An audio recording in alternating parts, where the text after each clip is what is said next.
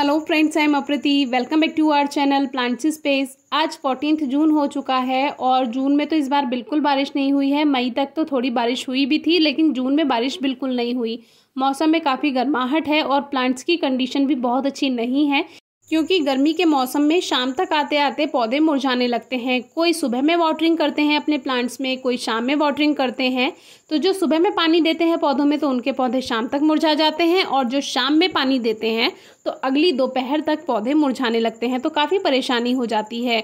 और आजकल तो छुट्टियाँ चल रही हैं। कुछ लोग मेहमान बनकर घूमने गए हैं और कुछ लोगों के घर मेहमान आए हुए हैं। तो प्लांट्स पे ज़्यादा ध्यान नहीं दिया जा रहा है। तो अगर आप कहीं बाहर घूमने गए हुए हैं या जाते हैं तो इस पर तो हमने वीडियो शेयर की हुई है कि कैसे अपने प्लांट्स को ठीक रखें। लेकिन अगर आपके यहाँ मेहमान आए हुए हैं तो अपने पौधों का ध्यान कैसे रखें?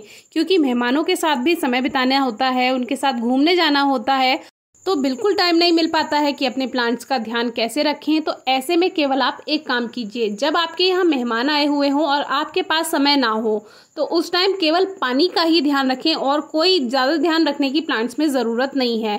तो उसके लिए आप क्या कीजिए, जैसे जो प्लांट्स आपके धूप में रखे हुए हैं, ज़्यादा धूप में रखे हुए हैं, उनको ऐसी जगह पर शिफ्ट कर दीजिए जहाँ पर बहुत ज़्यादा धूप नहीं आती है। अब आप सोचेंगे कि कहीं प्लांट्स बेकार तो नहीं हो जाएँगे।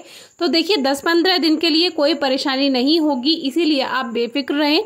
दस पंद्रह दिन के लिए आप प्लांट्स को ऐसी जगह भी शिफ्ट कर सकते हैं जहाँ कम धूप आती है। उससे क्या होगा? प्लांट जल्दी जल्दी मुरझाएँगे नहीं और आपको अपने प्लांट्स में ज़्यादा समय देने की ज़रूरत नहीं होगी। जो प्लांट्स दीवार के पास में रखे हैं, उनको दीवार से थोड़ा सा आगे कर दीजिए। क्योंकि जब धूप से दीवार गर्म होती है तो रिफ्लेक्ट होकर उसकी जो हीट होती है, वो पौधों को लगती है, उससे भी पौधे बेकार होते हैं। तो दीवार से थोड़ा थोड़ा आगे कर दीजिए और थोड़ी छायाधार जगह पर शिफ्ट कर सकते हैं। दूसरी बात, पानी अगर आपको देना है, जैसे आप नहीं दे पा रहे हैं पौधों पर ध्यान तो आप किसी भी समय प्लांट में वाटरिंग कर सकते हैं। अगर आप थोड़ा कम धूप में रखेंगे प्लांट्स में तो आप किसी भी समय वाटरिंग कर सकते हैं। अगर पौधे धूप में रखे रहेंगे तो दोपहर में भी आप वाटरिंग नहीं कर सकते, क्योंकि पौधों पर सीधी धूप पड़ेगी तो वो सही नहीं है। और और अगर आपने प्लांट्स को थोड़ा शेड में रखा हुआ है या सेमी शेड में रखा हुआ है तो आप किसी भी समय वाटरिंग कर सकते हैं जब आपको टाइम मिले, चाहे दोपहर हो, चाहे सुबह हो, चाहे शाम हो। कभी कभी तो ऐसा हो जाता है कि बिल्कुल टाइम नहीं मिल पाता तो कभी कभी हमें थोड़ा दिन छिपने के बाद भी पानी देना पड़ जाता है। मान लीजिए कहीं जाना पड़ गया अचानक घूमने के लिए या कहीं जाना पड़ गया वैसे भी तो टाइम नहीं मिल पाता है तो लौट कर आकर हमें पानी देना पड़ता है। कभी कभी दिन भी छिप जाता है, जबकि दिन छिपने के बाद पौधों को पानी नहीं दिया जाता। लेकिन कभी कभी इमरजेंसी हो जाती है तो आप ऐसे भी कर सकते हैं। तो बहुत से लोग तो गार्डनिंग इसलिए भी नहीं करते हैं कि अगर हमें कहीं जाना पड़ जाए या मेहमान हमारे घर आ जाए तो हम पौधों को कैसे ध्यान रखेंगे? कोई परेशानी नहीं आती है, यकीन मानिए।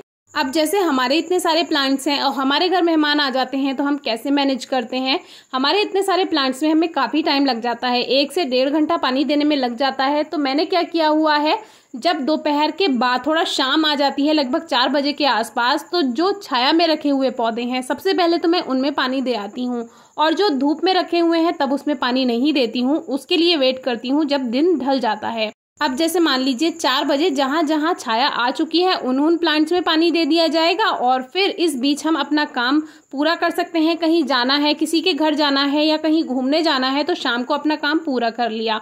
लौट कर आने के बाद जो पौधे बचे रह गए थे, जिन पर शाम चार बजे तक भी धूप थी तो उनको हमने पानी नहीं दिया था तो लौट कर आकर उन पौधों में पानी दे देते हैं। तो इससे काम भी हल्का हो जाता है और प्लांट्स भी बेकार नहीं होते हैं। तो इस तरह आप भी अपने प्लांट्स को मैनेज कर सकते हैं। अगर आपके यहाँ मेहमान आए हुए हैं या आप ज़्यादा बिज़ी हैं तो केवल वॉटरिंग पर ध्यान दीजिए, फिर भी कुछ समझ नहीं आता है तो हमसे ज़रूर पूछिएगा। Thank you